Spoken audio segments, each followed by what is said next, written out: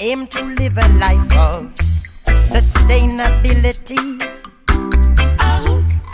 Instead of burning Earth's resources while polluting the sea, the sea, they're ripping out the seeds that grow naturally inside our Earth, yeah. Leaves the land scarred and wasted for centuries. Accountability. Afroman Radio.